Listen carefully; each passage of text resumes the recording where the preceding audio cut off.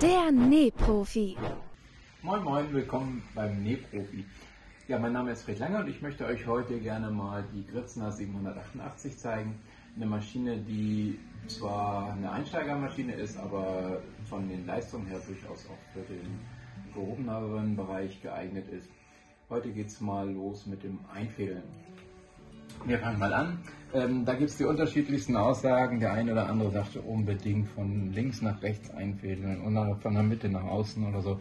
Ich bin der Meinung, das spielt gar keine Rolle. Wichtig ist nur, dass so bestimmte Dinge beachtet werden. Die werde ich im Laufe dieses Videos mal erwähnen bzw. euch zeigen, worauf ihr achten müsst. Wir fangen jetzt mal mit dem linken Nadelfaden an. Wir haben hier mal ein schönes rotes Garn heute mal rausgesucht. Ähm, hier oben einmal durchfädeln. Es ist auch nicht verkehrt, das ein zweites Mal mit durchzuziehen. Hat den Vorteil, dass die Schlaufen, also diese verdrillten Stellen, die manchmal so beim Nähen oder beim Abziehen des Garns entstehen können, dass die so ein bisschen rausgezogen werden. Dann die Führung hier. Wichtig ist, beim Einfädeln. Also es gibt zwar hier einen Drücker seitlich, mit dem man die Spannung locker schalten kann. Ähm, ich persönlich finde es aber zu umständlich hier zu drücken und dann äh, den Faden da entsprechend zwischenzuziehen. Ich achte einfach darauf, dass ich den Faden hier stramm genug dazwischen ziehe. Also richtig stramm runterdrücken. Dann merkt man auch am Zug, wenn man hier am Garn zieht, dass eine gewisse Gegenspannung da ist. Sollte der Faden hier nur locker rauf, drauf liegen, dann geht das viel zu leicht nachzuziehen. Also wirklich stramm zwischenziehen. Dann hier rum über diesen Fadenheber. Dann wieder diese Führung und dann am besten abschneiden, damit man vernünftig einfädeln kann, weil wenn das Garn ausgefranst ist, dann wird es schwierig. Ich verwende gerne diesen Einfädler, den zeigen wir euch in einem anderen Video auch gerne nochmal ausführlicher. Der Faden wird hier einfach zwischengeklemmt, so, und man drückt das ganze Teil gegen die Nadel und schiebt vorsichtig runter mit einem leichten Druck, sodass der Faden da durchgezogen wird. Das Ganze kann man dann mit der Pinzette oder mit den Fingern nach hinten legen. Wir legen die Fäden dann am besten unter das Füßchen. Da gibt es jetzt verschiedene Möglichkeiten. Füßchen anheben und hier seitlich vorbeilegen. So.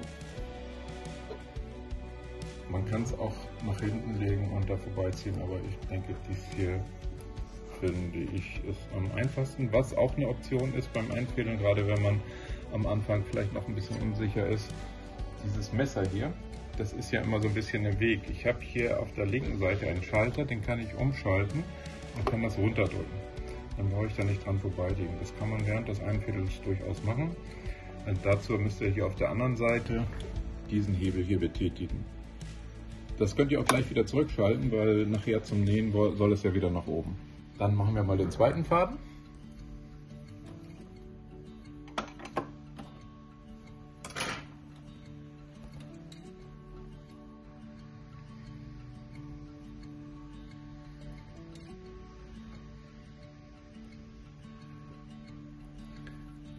Auch hier wieder dahinter klemmen und darauf achten, dass der Faden hier stramm zwischengezogen wird. Dann hier vorne einmal rumlegen über diesen Hebel. Auch jetzt wieder hinter die Führung legen und das gleiche Spiel nochmal mit dem Einfädler, nur jetzt eben für die rechte Nadel. Wir nehmen den Einfädler zur Hand, legen den Faden dazwischen drücken das Ganze vorsichtig gegen die Nadel und schieben an der Nadel runter, bis es durchrutscht. Jetzt verwenden wir den, die Pinzette zum Durchziehen. So, ist er hängen geblieben. Und das Ganze unter das Füßchen legen und darauf achten, dass es hier nicht an der Greifelspitze hängen bleibt, sondern dahinter rutscht. Dann haben wir die beiden oberen Fäden eingefädelt. Jetzt kümmern wir uns um die beiden, beiden unteren Fäden den linken und den rechten Greiferfaden bzw. den oberen und den unteren Greifer. Dazu haben wir hier in diesem Fall jetzt mal ein Bauschgarn verwendet. Das Bauschgarn hat halt den Vorteil, dass es ähm, etwas mehr aufbauscht und dadurch die Naht mehr füllt. Sieht optisch ganz klasse aus, verwendet man in der Industrie hauptsächlich bei Bademode, Unterwäsche, also Sachen, wo praktisch ähm, Hautkontakt da ist. Dieser Faden darf übrigens nur für die Greiferfäden verwendet werden, nicht für die Nadelfäden, weil das sonst ähm, praktisch der Greifer würde diesen Faden treffen und auf hängen bleiben können sozusagen. Auch hier wieder darauf achten, dass der Faden stramm zwischengezogen wird. Also ruhig so ein bisschen darauf achten, dass er dazwischen ist. Dann haben wir hier alles schön farblich markiert. Wir haben jetzt den äh, grünen Punkt hier, den wir einfädeln müssen. Dann ist hier auch nochmal ein grüner Punkt, da legen wir den Faden hinter. Dann hier oben und dann haben wir den oberen Greifer, den wir hier mit dem Handrad etwas verstellen können. Und hier müssen wir jetzt eben auch einmal durchfädeln. Dieses Loch ist relativ groß, wir müssen also da jetzt keinen Einfädler oder so verwenden. Beim Baustein ist das allerdings ein bisschen schwieriger, weil es eben etwas mehr aufträgt. Also von daher fädel ich das immer ganz gerne mit der Pinzette ein. Auch hier wird der Faden dann einfach unter das Füßchen gelegt. So. Und jetzt kommen wir zu dem letzten Faden und bei diesem Faden gibt es eine kleine Besonderheit, die ich gleich noch erwähnen werde, die äh, letztendlich das ausmacht, ob es funktioniert beim, Fädeln, äh, beim Nähen oder nicht, weil man da eine Kleinigkeit falsch machen kann.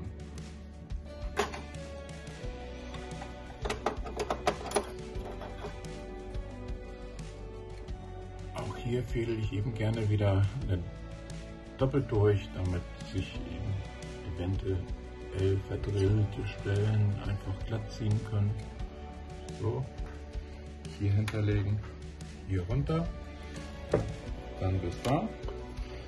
Hier haben wir jetzt zwei gelbe Punkte, das heißt wir legen das unter beide Hebel über diesen Bügel hier. Und jetzt haben wir diesen Greifer, den wir ganz nach rechts rüber drehen. Also der linke Greifer, dieser hier, den können wir ganz nach rechts rüber drehen. Also auf diese Position. Und ich persönlich mache es gerne so, dass ich erst durch den Greifer fädel und danach hier in diese Funktion, das zeige ich aber jetzt mal zur besseren Darstellung andersrum. Das heißt, man legt den Faden hinter diese beiden Bügel. Pinzette zur Hand, damit ich nicht meine dicken Finger dann Weg habe beim Video.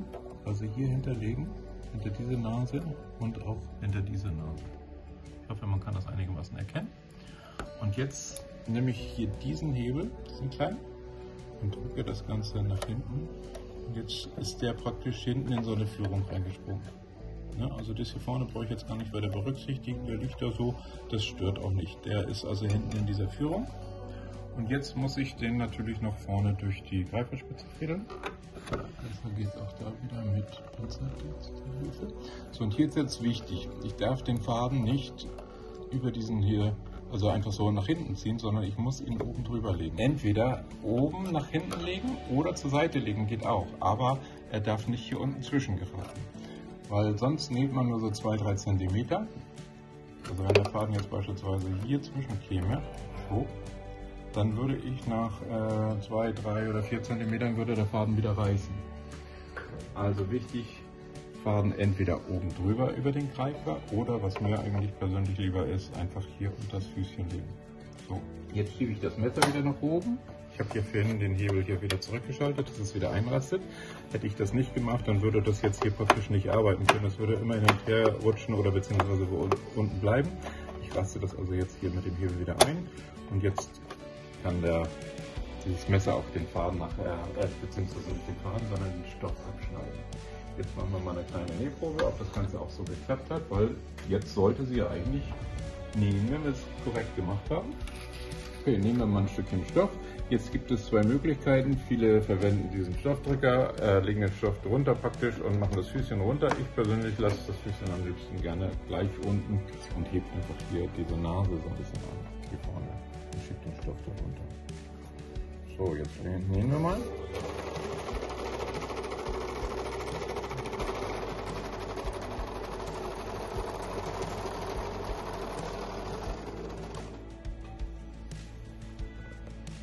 gut aus. Gucken wir uns mal die fertige Seite, die genähte Seite, weil dies wäre jetzt quasi die Innenseite, die wir versäubert haben. Und hier haben wir es dann sauber und ordentlich. Ja, soweit zum Einfädeln. Wir haben heute einfach mal die Kürzner 788 eingefädelt und gezeigt auf ein paar Kleinigkeiten, die ihr da achten solltet. Die Maschine könnt ihr natürlich bei uns im Online-Shop und im Ladengeschäft erwerben. Der Nähprofi. Wer näht, kennt Fred. In Hamburg-Rellingen und auf nähprofi.com.